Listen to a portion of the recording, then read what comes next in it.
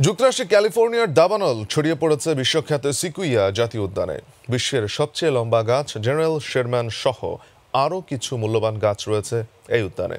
আর যে কারণে আগুন থেকে বাঁচাতে এসব মূল্যবান গাছকে অগ্নি প্রতিরোধক চাদর দিয়ে মুড়ে দেওয়া হয়েছে।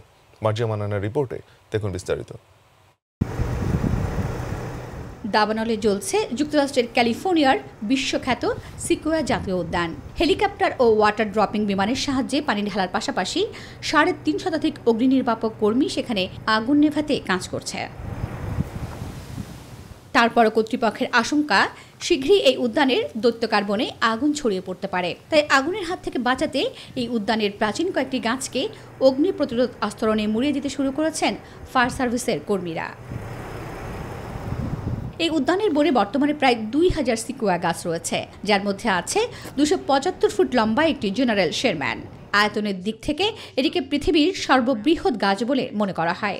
এই গাছের বয়স আনুমানিক দুই হাজার তিনশো থেকে দুই হাজার সাতশো বছর।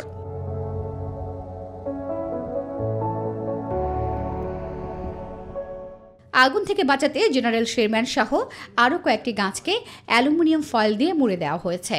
বিশেষজ্ঞদের মতে, সিকুয়া গাছ বেশ ভালোভাবেই আগুন প্রতিরোধ করতে পারে। আগেও এরা বিভিন্ন অগ্নিকাণ্ড প্রতিরোধ করে টিকে ছিল চলতি বছরে ক্যালিফোর্নিয়া অঙ্গরাজ্যে সাত হাজার চারশোটি দাবানল সংঘটিত হয়েছে। পুড়ে গেছে দুই দশমিক দুই মিলিয়ন একর জায়গা। প্যারাডাইস ও কলোনির এই আগুন এখন সিয়েরা নেভেদার ঝোপঝাড়পূর্ণ বিস্তীর্ণ ভূমির দিকে এগিয়ে যাচ্ছে।